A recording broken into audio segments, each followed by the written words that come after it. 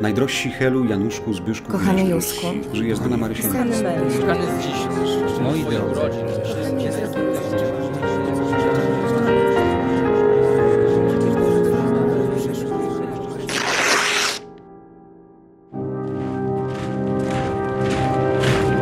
I znowu tupot nóg sołdackich i grzmiących sotni gwizd kozackich.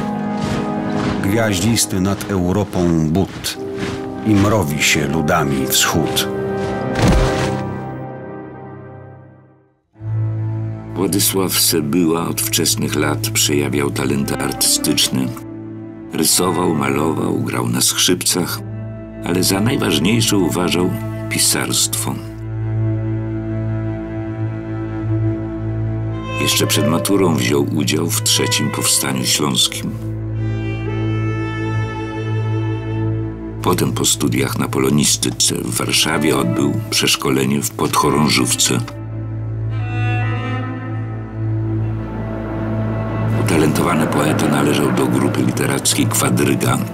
Pracował w polskim radio, a swoimi wierszami nawiązywał do romantycznych tradycji Słowackiego i Norwida.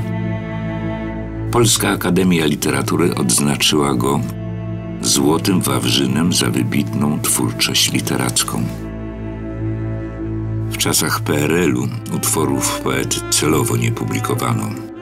Wznowienia wierszy tylko sporadycznie dopuszczane były przez socjalistyczną cenzurę.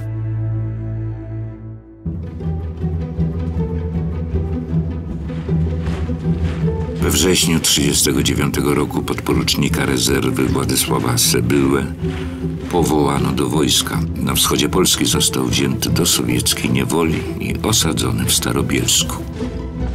Wiosną 40 roku zamordowano go strzałem w tył głowy w więzieniu NKWD w Charkowie.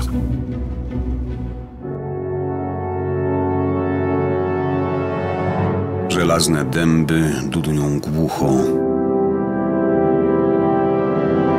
Toczy się mur, żelazny bór. Nad konarami zawieruchą znów szumi wiatr. Znów śpiewa chór.